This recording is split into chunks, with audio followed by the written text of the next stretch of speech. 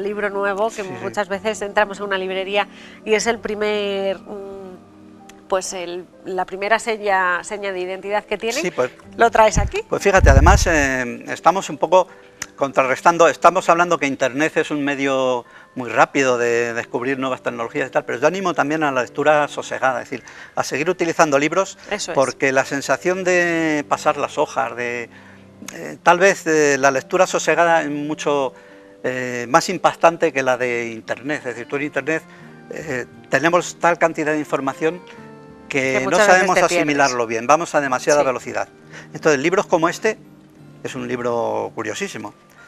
Es Cuaderno de Campo de Sierra Morena, de Víctor Hernández y Francisco Hernández. Bueno, Víctor Hernández eh, es un naturalista muy conocido porque tiene multitud de libros ya escritos, ha participado en muchísimas eh, exposiciones, en muchísimas... Eh, conferencias. Sí, sí, conferencias, ha publicado artículos. Entonces, es de Tundra Ediciones que tiene muchos libros dedicados a la naturaleza.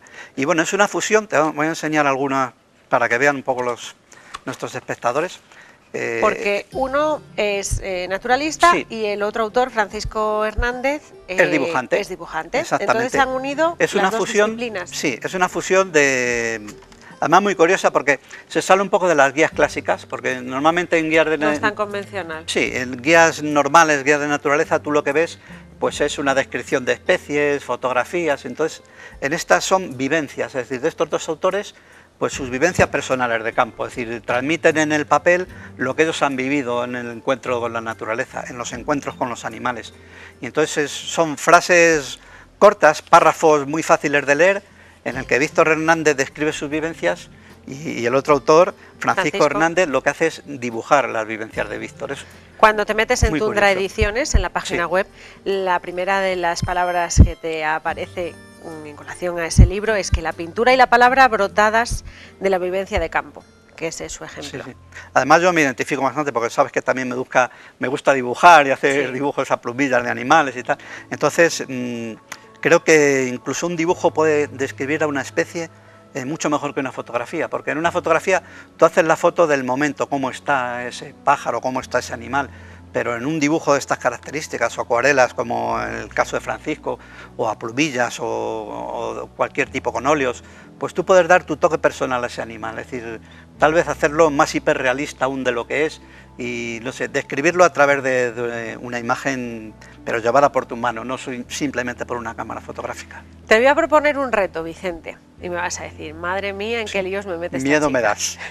Como a ti te gusta realizar ese tipo de dibujos, que en la siguiente temporada, si hablamos eh, de una nueva especie para nuestro diccionario natural, que podamos hacer un dibujo en directo y que te vaya viendo la gente. ¿Te parece? Pues lo que pasa es que es complicado, miraremos a ver, pero...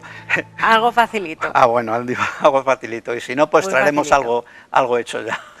Pues señores, yo creo que lo que tenemos que hacer ahora es dar las gracias. Gracias a mucha gente. En primer lugar, dar las gracias a Vicente, que es el que me acompaña durante todos los programas, es el que prepara los vídeos, el que realmente me da los contenidos y me dice, ¿podíamos tirar por aquí o por allí? Porque una ya está metida en, muchos programas y necesita en muchísimas ocasiones que nos echen una mano. Solo puedo darte las gracias, Vicente, que es un placer colaborar contigo y que tengamos muchos años más de este programa para que tú y yo podamos tirar de las orejas y tú puedas irte de ruta y yo quedarme en el sofá.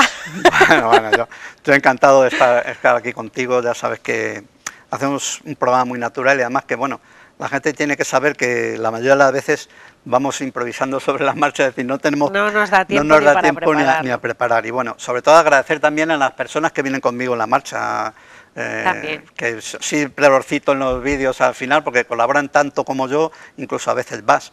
Y sobre todo pues a la gente por ver nuestro programa porque realmente me sorprende cuando vas por ahí, la gente le gusta rutas de este tipo. Pues sí, señores, sin más dilación, les tenemos que dar las gracias a todos ustedes por estar ahí en su televisión o vernos a través del móvil o la tablet.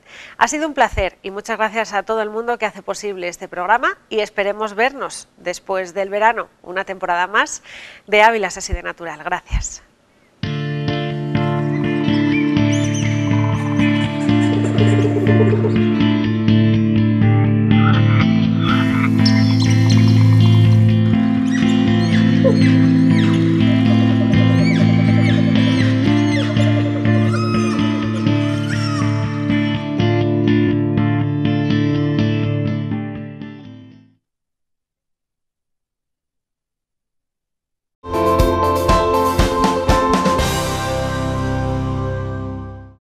Busca nuevos horizontes.